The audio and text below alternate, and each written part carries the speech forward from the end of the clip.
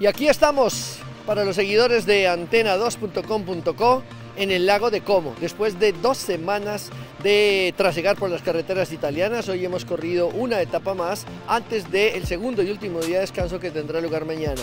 Una jornada que se caracterizó por una gran fuga, dos eh, corredores italianos, eh, eh, Cataldo y Cataneo, quienes consiguieron una ventaja de más de 15 minutos a lo largo de la fuga y luego se hicieron inalcanzables a pesar de la gran batalla que se desencadenó en el lote de los Astros en los últimos 50 kilómetros.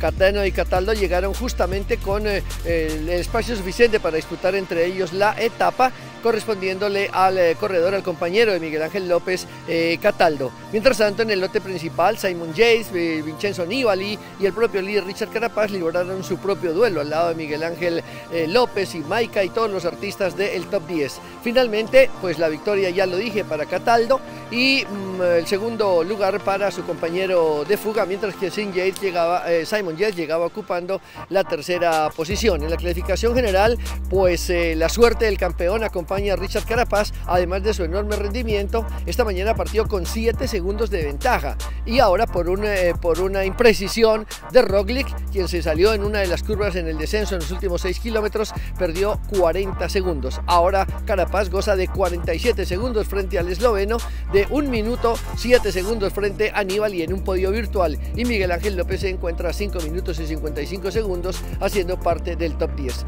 Mañana los ciclistas descansan, la mayoría de los eh, eh, componentes de la caravana del Giro también. Nosotros estaremos acompañándolos con un nuevo informe sobre la última jornada de reposo que tiene el Giro de Italia antes de emprender el próximo martes la última semana con una etapa de altísima montaña. Gracias, hasta luego. Creo que las sensaciones muy buenas, ¿no? la subida casi la ha hecho Nibali, la ha hecho a tope y luego también la bajada, ¿no? Creo que la conocía muy bien. Bueno, yo también pues tratado de no arriesgar eh, mucho, ¿no? Pues porque podía poner en peligro mi vida mismo, pero bueno, creo que le hemos defendido muy bien, el equipo ha hecho un excelente trabajo y nada, seguimos en el Bueno, no, yo creo que eh, son segundos suficientes, sabemos que es una crono bastante larga también en, Verona, pero bueno, iremos día a día, luego iremos pensando en si se necesitaríamos más segundos o no. Bueno, es una semana muy complicada, ¿no? Yo creo que es la semana que va a definir casi el Giro y al final pues esa gran contrarreloj creo que el equipo está muy bien preparado y, y, vamos a tratar de defenderlo pues hasta donde no sea posible. Saluda a Ecuador y a todos los que lo siguen en su país. Sí, pues enviarles un saludo a todos los ecuatorianos que nos siguen, eh, sobre todo desde mi país y ahora que se han dado cita aquí en Italia también.